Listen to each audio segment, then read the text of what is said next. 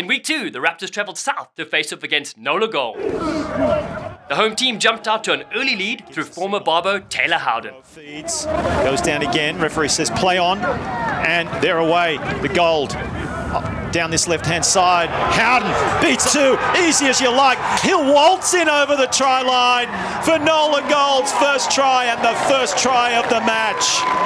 It came off of the scrum when they have to come together for this scrum. It concentrates all the biggest men on the pitch into these scrums. And what that does, it opens up space. You can see how the backs are using that, distributing that fast. But then Howden, he says, I think I've got a good line here. He pulls it off. He deceives his, his defenders and outmuscles them at the very end to charge through and get that try. Glendale responded with an 80 meter five pointer. As they give now an attacking opportunity to the fullback. Had a great game last week. DTS to Ryberg. Uh, fired up today as Glendale are going to score a try of their own through William Munro, the import from Bronte Beach in Sydney. They are back. Very, very deep, dangerous position for the Raptors. Backed up right against their door. Both sides dotted down again before halftime. To the newcomer, Billy Stewart. And they're over the try line. Look at that. Brilliant drive. Execution perfect on that occasion. Glendale could do nothing about it. And the Nola Gold have extended their lead 15 points to seven with a conversion to come. That first maul that they attempted didn't work out, but watch this. Right from the line out, they keep it all the big men come in. They just start bullying it through. Glendale cannot get in defense fast enough to stop their momentum. Boom, the try is scored. So the Raptors now prime real estate on the 22 metre line of Nola. Miss pass to London, another miss pass. Well taken by DTS, nearly through. Last ditch effort. Here come the Raptors. Ryberg brings it in. He's going to be hard to put down, and they won't. He'll dot down for the Raptors' second try of the match, way out wide. Through the hands to the last man on the pitch. It comes down to a duel. Can the Nola Gold stop him? Can they get him out of bounds? They cannot touch him and he soars into the try zone. Nola opened the second 40 with Howden crossing again. Gale to Howden, dummies through off the right foot. Howden, they will not stop him yet again. Last year's captain showing how it's done. That was a magnificent try because you saw how Taylor Howden was able to sort of mystify the defender right there, get him to bite on his next guy as if he was going to pass it to him, and instead he just switched the directions right there. He made that cut and shot through, and again, using that speed, that explosive speed that he has for a fairly large player to get through there and to just seal the deal. Fantastic. NOLA Gold home stadium is really excited about that one. Glendale got the next two tries through captain Luke White and flanker Willie Munro. And you would have to think they're going to do the same thing. Line out, bring it down, drive it over the try line. As you saw Munro bring it down. Nola have done well to halt the momentum, piling in, but Glendale keeping it tight, still driving as they edge toward the middle of the field. Nola driving through, ball comes out the back now. Let's see what the backs can do. Ryberg coming in, bumping off one. Strong runner. Same way. 10 on 10. Great defence, Scott Gale on Robert Petzer. Glendale with the ball. Fenoglio charging forward. Same way, no one home. Inside pass, easy as you like. Luke White, the captain, will score for Glendale. And this is what we keep saying. This is a quality outfit. You need to hold firm against the Glendale Raptors. Finally went Glendale's way there. Gosh, it was an eternity that they spent in Nola Gold's backyard. And three penalties on Nola this half. I think that might have been the difference maker. It kept uh, the Raptors right there, right there on their throat. They didn't let go. And eventually, when the opportunity presented itself, their big man was right there to charge through and get that try. Petzer fires it behind. Good step again from Taikato Simpson, who gets it away to Denician.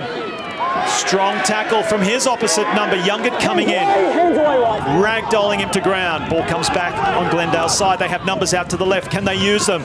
Keeping it tight now. Same way, go the Raptors. Munro dummies, and he's over. Looks like it'll be a try. Well, the referee says, let's have a look at that one. He feels like it may have been either stripped or held up. Looks like the ref's going to have a little chat. Now they've awarded the try now to the Raptors.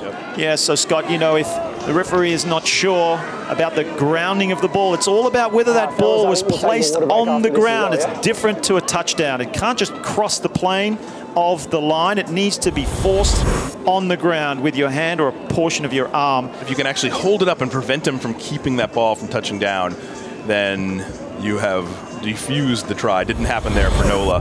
But Nola struck back with two quick scores to put the match out of reach. As Nola now in attack, straight through the number 10, Scott Gale. He's looking for support. He might not need it. He won't need it. He'll go all the way. The defense opened like the Red Sea. And that has fired up this New Orleans home crowd. Boy, did they need that. To Johnson, chips ahead, straight into the waiting arms of Feeks, and this is what he does so well. The seven specialist fires it inside, plenty of numbers to burn. Foley finds Blewett. It's all the way to the try line for Blewett. He knows that area extremely well. And what about the interchange of play? Started from the Australian Nick Feeks. What a great turn of events for Nola Gold. Two tries, probably under two minutes here. And again, the feet of Feeks. Check this out. Presence of mind to stay in bounds there, tiptoeing against the edge, and then getting it out right when he needs to, to his mates running in support. And again, no selfishness there. Any one of those runners might have wanted that one to keep, but no, they moved it on and got success. A penalty to Glendale. This is looking dangerous now for Nola. We're kicking it to touch to get it very, very close to the New Orleans try line. As we've seen before in this game, very dangerous situation for Gold to be in. Zach Fenoglio overcooks that one again, but in comes Malifa. He takes it. Glendale with the ball. Two meters from the line. White jersey scrambling. They need numbers out to this short side, but it goes the opposite way through Daly. Is he over? Yes, he is.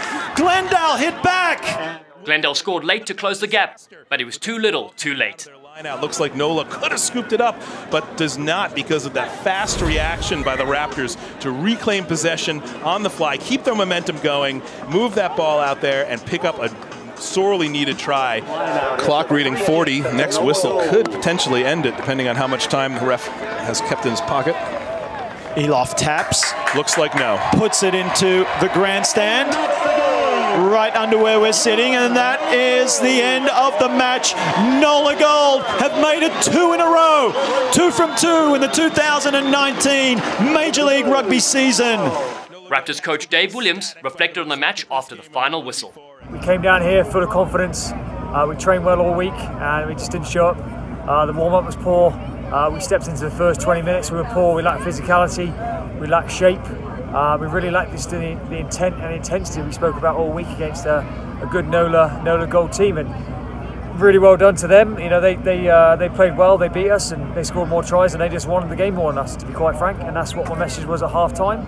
And that certainly was what my message was at full time to our guys. Uh, obviously, you can tell I'm, I'm, pretty disappointed at the moment, as as everybody is, as every person in the locker room, all the coaching staff is as well. Uh, we'll fight back. We've got a week off now to lick our wounds um, after a pretty shocking start. To be fair, at 0 2. Uh, we need to bounce back. We need a strong performance against Austin and uh, really rip into the rest of the uh, MLR season.